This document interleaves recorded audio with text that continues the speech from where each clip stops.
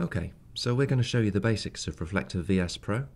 And to do that, we've got a fairly simple application here, which I'm going to open with debug mode in Visual Studio. It's a simple Fibonacci calculator. So if I type in 6, it'll give us the 6th Fibonacci number. If I type in 7, we'll get the 7th, and so on.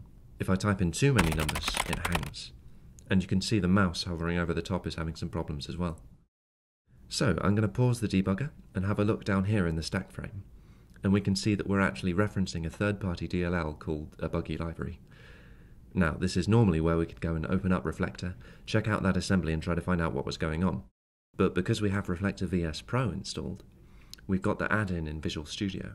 So we have a menu up here, and it gives us the option to choose some assemblies to debug. I'll go ahead and do that, and right at the top, conveniently, we have a buggy library. I'm just going to choose that assembly to debug and hit OK.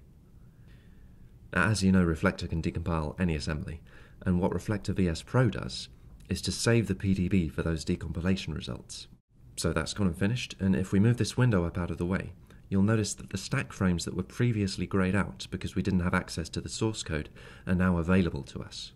What this means is that we can now step into them. So up here, we now have source code generated by Reflector, and it's sitting right here in Visual Studio for us. Now the beauty of this is that we can use the Visual Studio debugger, so of course we can step into this. We can see the variables and edit them as well. And you can see that this one's now changed, we can set the breakpoints.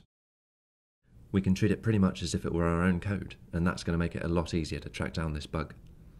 So we've got right to the heart of the code that we're trying to investigate with Reflector, much faster and much more simply.